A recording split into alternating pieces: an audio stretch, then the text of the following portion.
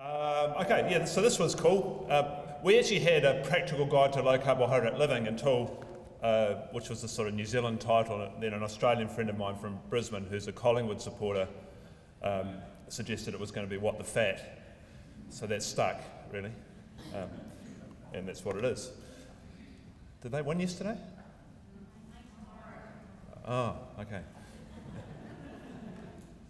Who was playing at the MCG then? Was people walking around with Collingwood scarves? Anyway, well, I digress. Okay, well, welcome to my, uh, welcome Melbourne, and welcome to uh, my world, which is public health, and that's uh, what we're booking into today's science with Professor Volek is some some more uh, public aspects of what's going on in the world right now. I think nutrition is changing rapidly. You're right in the middle, folks, of, of a revolution in the way we think about our health, uh, especially around food. I think that revolution started a while back, though, and I think what happened explains a lot about what's happening now. Uh, so, my field, public health, really started in around the 1850s in its current form, around a time that in London, cholera was spreading around the place and it was a nasty disease.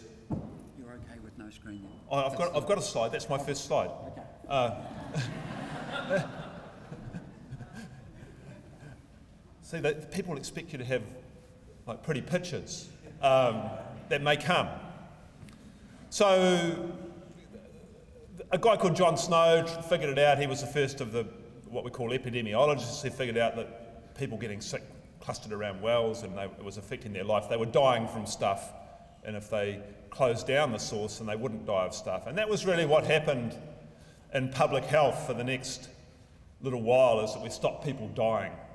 Public health 1.0. We're, we're now into public health 2.0, and hopefully we're seeing the end of that soon is we don't catch stuff and die of it now. We uh, get these non-communicable diseases, um, and I think what we eat has a fair bit to do with that. So we've been thinking about what to tell people to eat and how that might pan out for a long time. Uh, but the strange thing about all that is that public health didn't begin in 1850 in a well in London societies, whole societies, have had a deep ingrained knowledge, a shared knowledge about what makes them well since humans have been living in any sort of community. See, I told you we had one, Rod. Um, I just want to tell you a, a couple of short stories about some work I did in the remote Pacific that I think is quite interesting in this context. So, this is southern Vanuatu. It's an island called Aneityum. It's the southernmost point. It's a beautiful, lovely, untouched place. In that public health sense, there's plenty of living long and then dropping dead going on, and sort of in the primal paleo sense of the word, that, that life expectancy is uh, reasonably good, uh, but people don't die slowly like most of us in Australia and New Zealand will from these chronic diseases. They end of life comes reasonably quickly. Um, and I assume that's what most of you are aspiring for, right? That's true, isn't it? Um, talked to a guy, Andre, before. He, I, I often tell a story about, uh, you know, my fantasy of dying a young man's death at the age of 92, racing my mate up a steep hill and, and, and winning the last sprint and, and not even having time to unclip. And, and, and he, he sees me faltering and he too wins his last sprint. So we're both sort of old wizened turtles lying there upside down, dead as a doornail. Uh, do, you, do people think about that? yeah, of course you do. If you don't, you should. Um, so, of course, the, southern Vanuatu is a very uh, nice place. The sort of traditional living's going on. Uh, there's this obvious, deep, close knowledge about nutrition in the Weston A Price mould that is held by these people. And of course, the World Health Organization knows that they're, they're healthy and they're concerned that in the future they might be less healthy. So their solution is to get experts, and I, in this case, was the expert, to go along and tell them how to live. But they give you materials, the food pyramid, exercise more, move, uh, eat less, that sort of thing. Um, and it's immediately obvious when you go there that um, the only thing I could do if I opened my mouth and told them about anything is to cause damage. So you just sort of sit around on the, um, this area for a few weeks, take a few blood pressures, and that's the end of that, um, which is quite nice, but it's, it's reassuring that there's still some places in the world where societies still hold this knowledge, knowledge about nutrition. Um, there's some imported food, just a little, a little friendly pig. Um, but mostly it's this sort of thing. It's whole, unprocessed food, whole plants and animals. Um, and when it gets down to it, it is a diet that's relatively low in carbohydrate, higher in fat, and whole food, which is exactly what we're advocating for. Um, if you haven't done this, I actually helped catch some of these fish. Well, in, in a sense, I help catch them. These uh, ones at the bottom are flying fish. What you do is you light a lantern, you paddle out in your dugout canoe, and you stay there for half an hour, and when your boat is full of fish, you paddle back in because they fly in. Which is sort of cool, right? So, beautiful place, but, but the Pacific doesn't look like that all over. This is um, in the North Pacific, it's uh, an island called Tarawa. It's part of a chain called Kiribati, which uh, is most well known, I think, for the Battle of Tarawa, a World War II battle where the Japanese were encamped on this island and the Americans pounded them, uh, a marine force for over a week. This battle went on. And the population was decimated, but it had sat around a couple of thousand people for most of the time, the people that lived on this coral atoll. It's 40 kilometres long and it's about 200 metres wide. It now has about 45,000 people living here they can't grow any local food really because of it's only a metre above sea level anyway, and sea level rise, uh, lack of soil, high population. Uh, the lagoon you see there's polluted from a combination of things, so you wouldn't put your foot in there, let alone eat fish from there. Um, and off the coast is a number of factory processing ships from China and Taiwan that are uh, using up all the natural resources. So you can imagine that uh, the traditional society is gone, the food supply now more closely resembles this. And we've got a situation where I think diabetes here would be amongst the highest in the world. So I think probably about 60% of the population has diabetes. Um, you might go, okay, well, that's interesting. Um, but what that means in reality is for a small island of 45,000 people, they're amputating about 20 limbs a month from the locals through complications of diabetes. And if you start to do the maths over a couple of years, that's you know, nearly 500 people's legs or feet coming off from the complications of diabetes. I ended up measuring the blood sugars on the diabetes team just to show them how you, you try and find out about diabetes. And uh, you send them away and they come back in the morning, do this fasted blood glucose, and every, you know, you should be around five millimoles, hopefully a bit under, um, and every one of the diabetes team is 10 or above.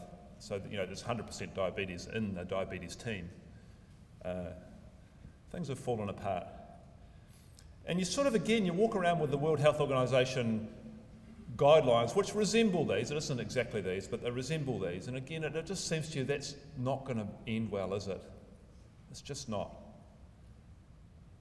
Eating less and moving more isn't quite the right advice. And this type of diet doesn't resemble anything that they rate in the entire history that they've been around for these people. And this was published earlier this year. It's a, a, journal called Open Heart, and it was just looking at was there any ever any evidence for the public health guidelines of low fat? And the answer is no, there wasn't, and there still isn't. But we're persisting with the idea that we should eat low fat. And really, it's led to a genre of food that I think we can all now find particularly perverse. Um, you know, this is clearly not actual food um, in the uh, Michael Pollan sense. It wouldn't rot, or your grandmother would not recognise it. Um, it falls into a broader category called medical pornography. Uh, and unless you get a free mask with that one, um, Milo's, and uh, this is the stuff that now has on the new star rating. You're familiar with the star rating? This is a four and a half star rated um, product out of five stars, that is. Um, where whole milk was down at, at um, three. So, you know, wielded by the food industry, it's sort of ended badly, I guess. Uh, and the science has moved on. The science has well and truly moved on, I think. So I think we can now understand the broad range of metabolic problems that we have from diabetes to cancer to cardiovascular disease to neurological problems like Alzheimer's and dementia as having the same basic cause. Uh, it's an inflammatory process, it's driven by insulin resistance in the presence of sugar and carbohydrates. Uh, we also know that's the problem, that getting insulin resistant, what does that mean? Uh, we need to get glucose into our cells, we need to do that to live. Um, we vary enormously in how we're able to do that uh, between people, but even within ourselves, there's a whole bunch of things that change that all the time. I just made a quick list of the things that I know of that make you more insulin resistant, and there's a whole bunch of psychological and physical things like poor sleep and stress will make you more insulin resistant. Um, maybe too much exercise under some conditions, certainly too little exercise.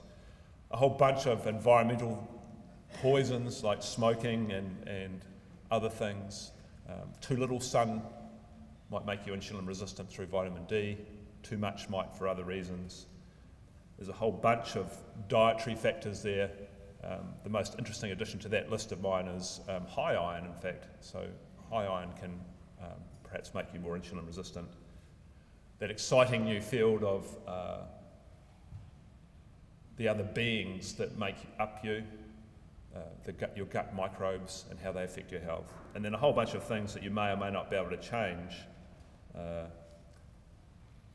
like your age and your ethnicity. So you can see from that list that that's pretty much modern life.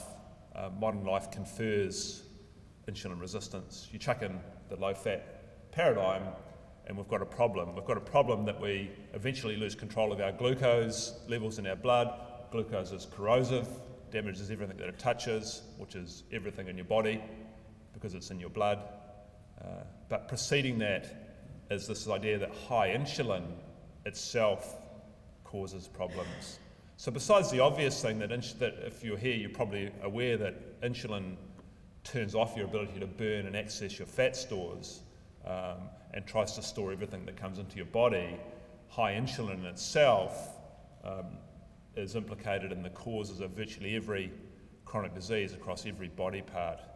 Uh, and so, if you took that view, which I think is, is that science is not new science, we've known about that science for quite a long time, then if you wanted to describe to people what to eat, you might say something like this A balanced diet in the context of whole food is one which normalizes your blood glucose levels um, and prevents you hypersecreting insulin. So that's a sort of medical speak, but it means you're going to need to uh, eat whatever it takes to have normal blood sugar and not have high insulin. And I think that has some important implications because that meal might be profoundly different depending on who and what you are. My 14 year old son can eat a good deal more carbohydrate and still maintain a normal blood glucose level um, and not hypersecrete insulin.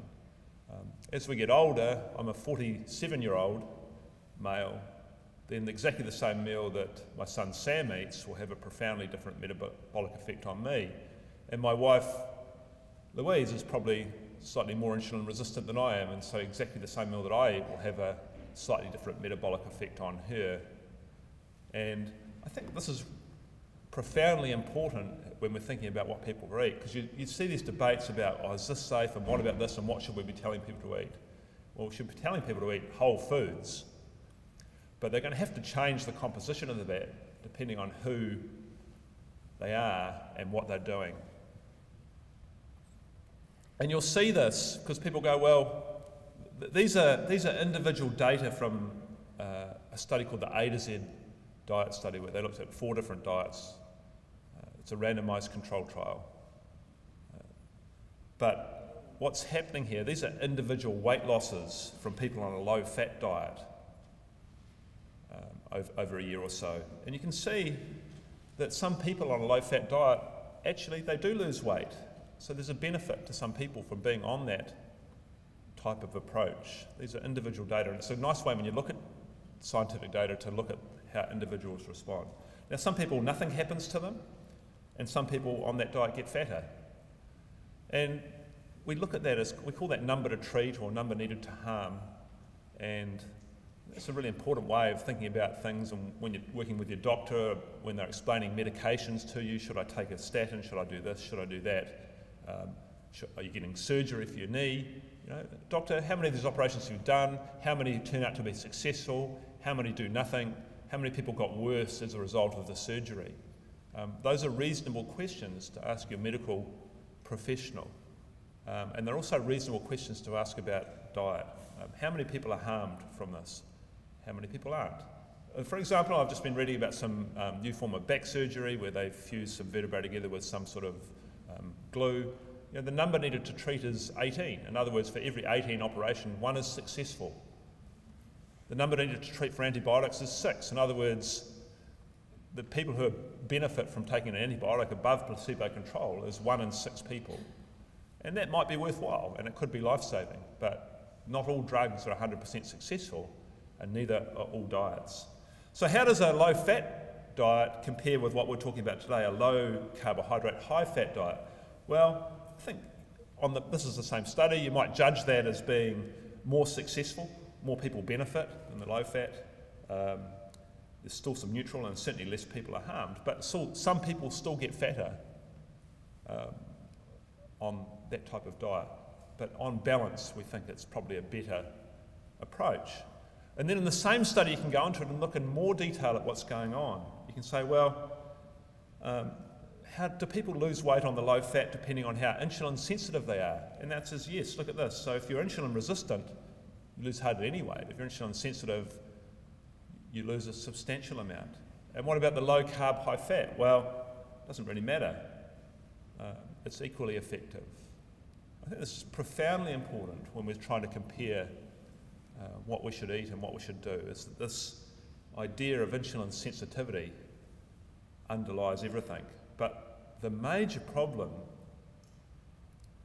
is this that the people who most need the advice to eat less sugar and carbohydrate and eat more fat are our diabetics, people who are severely insulin resistant and now have trouble getting glucose out of their blood into their cells no matter what.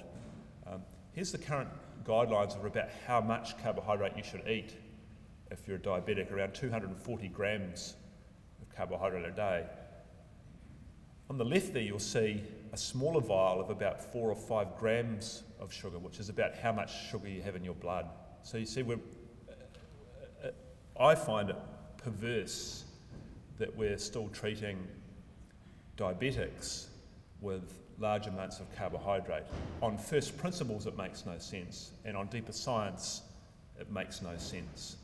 The reality is that most Australians don't just eat 240 grams of carbohydrate, they eat closer to 330 grams of carbohydrate a day, which is that jar pretty much filled up and overflowing um, to maintain that one teaspoon of glucose throughout the day.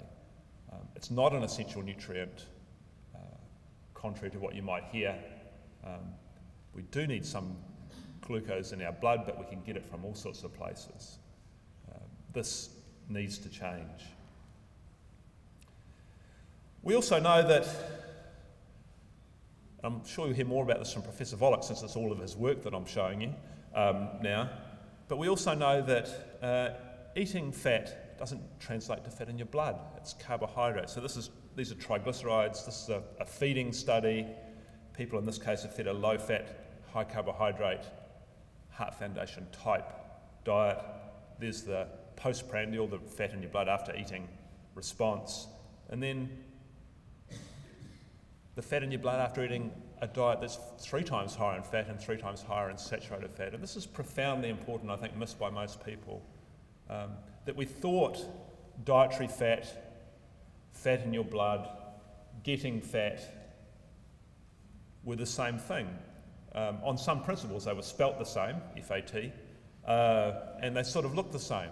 But it just doesn't turn out that way. That's not how the biology works.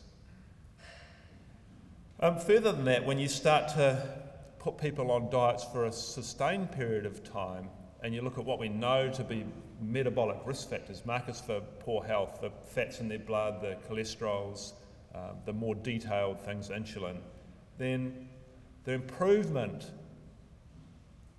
from being on a high fat but low carbohydrate diet is profound compared to the smaller improvement on being on the low fat diet.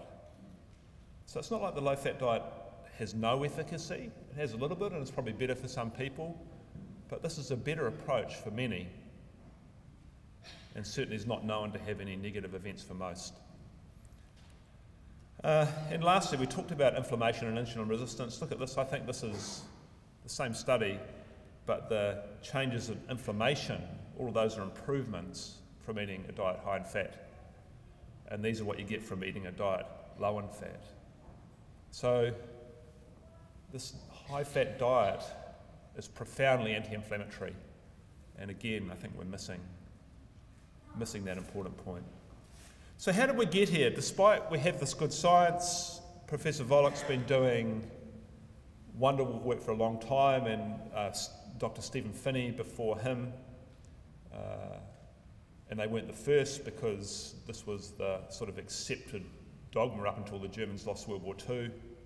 That, that that's what you do. The winners rewrote history and came up with this. And you can see that we've, we've explored some of the reasons this came out. You know, fat is spelt the same and it looks the same as fat in your blood and being fat. So maybe this was a good idea.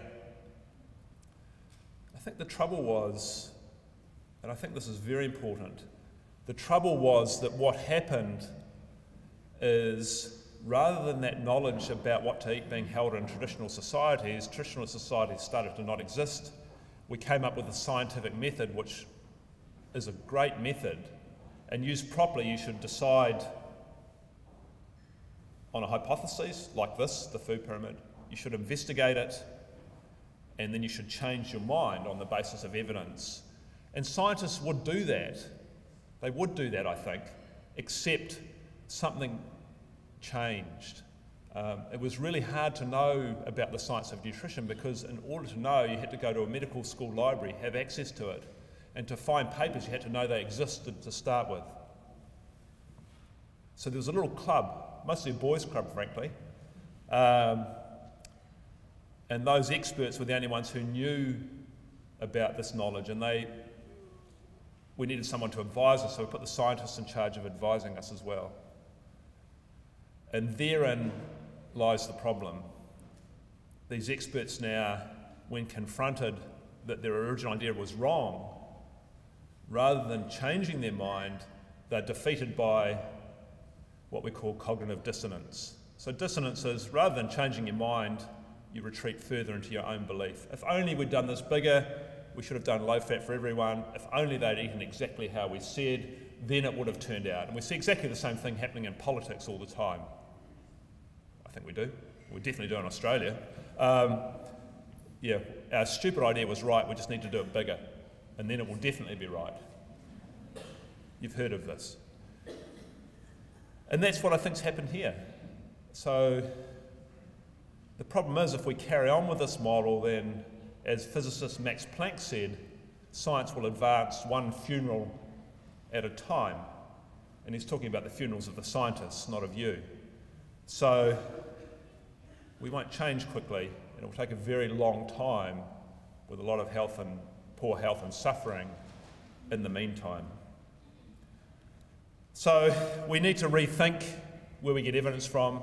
I think I would and have been advocating for a public health 3.0, um, which involves you, especially, especially you actually, since you're here. Uh, public health 3.0, I think, is best illustrated by my uh, friend George Henderson, so this guy is an old Kiwi rocker. He had a band called The Puddle. You may not have heard of it. Uh, he started playing in 1981. He's still going. He things came unstuck for George in 1991 when he was caught at the scene of a pharmacy procuring products for home baking. and then he was caught at the scene of a medical warehouse a week later whilst out on bail, on bail procuring more products. Uh, and you can imagine the authorities had a rather dim view of that sort of behaviour. Um, he was a drug addict and had been now for quite a long time. So they put him in prison for six months. They discover he's got hepatitis C from those decades of intravenous drug use. They let him out, and um, rather than being reformed by the system, he carries on where he left off. And by the early 2000s, the combination of drug abuse and hepatitis C, that's pretty much, he's getting near his uh, end, his teeth are falling out, and he's just about dead. But George has this thought, he's like, oh, well, um, I've been reading a fair bit about physiology and biochemistry for 30 years now, um, and I'm especially good at pharmacology. Um, I've got textbooks. Perhaps I'll go up to the medical school library and see if there's anything that I can figure out about this hepatitis C because it's really going to be the end of me. So off he goes, and of course, the um, internet's emerging and open access science is now available. He can communicate with authors and other experts. Blogging is starting. And he starts to think about hepatitis C and figure out that the VLDL particle is a carrier for the virus, and perhaps if he reduces his carbohydrate and has more nutrient dense food, then things might improve. Um, he discovers to his surprise that he can reduce his viral load by some 80%. He, amazingly, after three decades, figures that his drug abuse, his, his drug cravings are melting away. He starts to blog about his uh, knowledge and discoveries in diet and science and hepatitis C um, and communicate with the experts around the world. And he's involved in this discussion now, and I think that's important, and starts to offer solutions. I discovered George, I don't know, last year sometime when I blogged about something it attracted the attention of other academics who tend not to like people um, saying the opposite to them. Um, it was a Friday and I had a few wines, so I thought it was inappropriate to respond because I would say what I think, which would not end well. Um, but George responds, and over that course of that weekend, there's some 10,000 words uh, go back and forth between him and these academics. And it's immediately obvious to me that, first of all, George knows a lot more than them. He's certainly got the better of them, and he's thought of several things that I wouldn't have thought of. Uh, and I think this is important. Um, this isn't the route to public health 3.0 by any means, uh, but it shows you that I think things have fundamentally changed where we can take back that wisdom that we once held in society and culture about what to eat. We lost it to a few experts. We need to actually claim it back now, and we can do that because we have the internet and we have access to open science and we have events like this.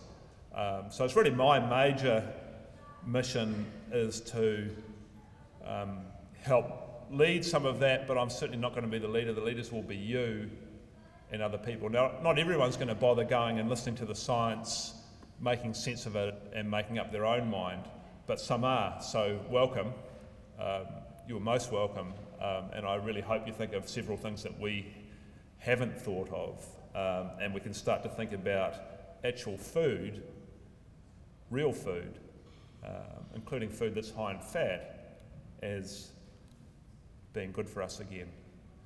So thank you very much. Uh, appreciate your time. Thank you.